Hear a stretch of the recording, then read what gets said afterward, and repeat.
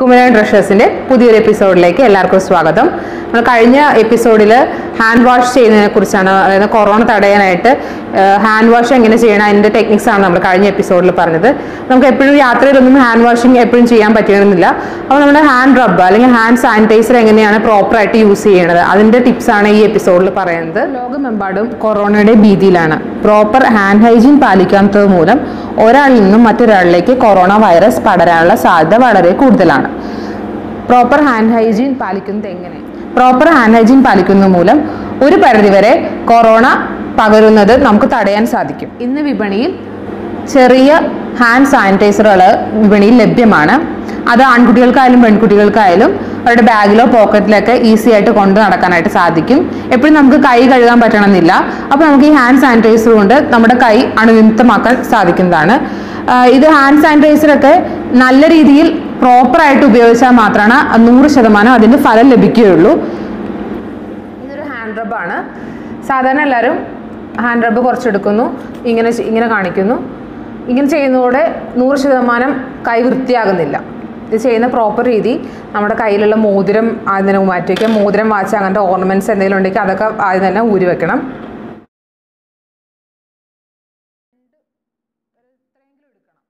Hand rub എടുക്കുക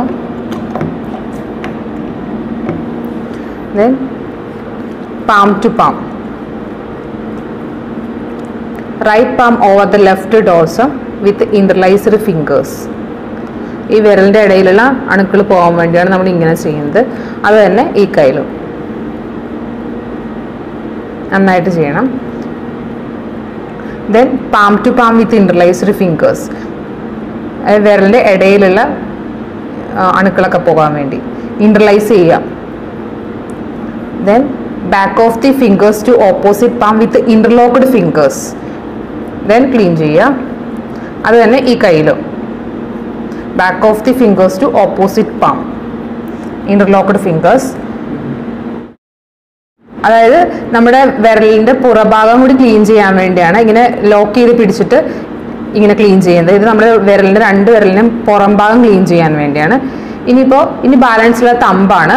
ഈ കൈ കൊണ്ട് ഈ കൈ റൊട്ടേറ്റ് ചെയ്ത് ക്ലീൻ ചെയ്യുക. തമ്പ് ക്ലീൻ ചെയ്യുന്നതാണ്. Rotational rubbing of thumb. രണ്ട് കൈയുടെയും തമ്പ് ക്ലീൻ ചെയ്യുക. അപ്പോൾ നമ്മുടെ ഫിംഗേഴ്സ് ഫുൾ ക്ലീൻ ആയിട്ടുണ്ട്. ഇനി നമ്മുടെ ഫിംഗേഴ്സിന്റെ ടിപ്പാണ് ക്ലീൻ ചെയ്യണത്. നമ്മുടെ റൈറ്റ് ഫിംഗർ ലെഫ്റ്റ് പാമ്പിൽ വെച്ചിട്ട് ക്ലോക്ക് വൈസും ആന്റി ക്ലോക്ക് വൈസും ക്ലീൻ ചെയ്യുക. നമ്മുടെ ടിപ്പ് ക്ലീൻ ചെയ്യുന്നതാണ്. അതുപോലെ കയ്യിലും ഇതുപോലെ തന്നെ ക്ലീൻ ചെയ്യുക. ക്ലോക്ക് വൈസും ആന്റി ക്ലോക്ക് വൈസും ക്ലീൻ ചെയ്യുക. ദെൻ റിസ്റ്റ്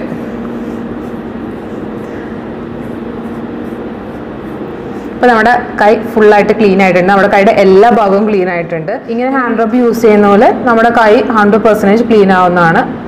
ഇങ്ങനെയാണ് ഹാൻഡ് റബ്ബ് യൂസ് ചെയ്യേണ്ടത്. ഹാൻഡ് റബ്ബ് ഇങ്ങനെ പ്രോപ്പറായിട്ട് യൂസ് ചെയ്തതിന് ശേഷമാണ് മാസ്ക് കെട്ടുന്നതും മാസ്ക് കെട്ടാൻ നേരത്തും മാസ്ക് കെട്ടിക്കഴിഞ്ഞ് അയച്ചതിന് ശേഷം ഹാൻഡ് റബ്ബ് യൂസ് ചെയ്യണം.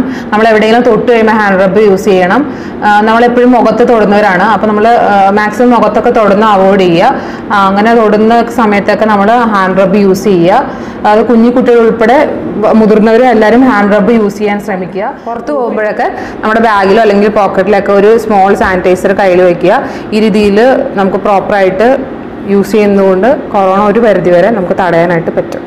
അപ്പോൾ വീട്ടിലുള്ളവർ വീട്ടിലെ മുതിർന്നവരെയും കുട്ടികളെയും ഒക്കെ ഹാൻഡ് ഹൈജീൻ പ്രോപ്പറായിട്ട് യൂസ് ചെയ്യുന്നത് എങ്ങനെയാണെന്ന് പഠിപ്പിച്ചു കൊടുക്കുക. ഇതുകൊണ്ട് നമുക്ക് കൊറോണ നന്നായിട്ട് തടയാനായിട്ട് സാധിക്കും. ഇങ്ങനെ ഹാൻഡ് റബ്ബ് ഉപയോഗിക്കുന്നത് മൂലം നൂറ് ശതമാനം വരെ കൈ വൃത്തിയായിട്ട് നമുക്ക് സൂക്ഷിക്കാൻ പറ്റും.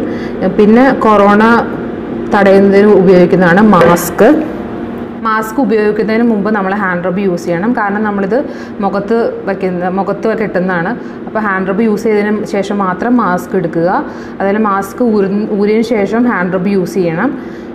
മാസ്കിന്റെ ഈ ഭാഗമാണ് നമ്മുടെ മൂക്കിന്റെ ഭാഗത്തായിട്ട് വയ്ക്കുന്നത് പിന്നെ ഇത് ബാക്കിൽ കെട്ടുക ഉപയോഗിക്കുന്നതിന് മുമ്പ് ഹാൻഡ് റബ്ബ് ചെയ്തതിന് ശേഷം മാത്രം മാസ്ക് ഉപയോഗിക്കുക. മാസ്കിന്റെ വള്ളി ഈ മുകളിലെ വള്ളിയിൽ ഉപയോഗിച്ച് വള്ളി പിടിച്ചിട്ട് മാസ്ക് കെട്ടുക. ഈ ഈ ഒരു ഭാഗമുണ്ട്. ഇതാണ് നമ്മുടെ മൂക്കിന്റെ ഭാഗത്ത് വരുന്നത്. മാസ്ക് കെട്ടുക. മാസ്ക് അഴിച്ചു കളയുമ്പോഴും ഹാൻഡ് റബ്ബ് യൂസ് ചെയ്യുക.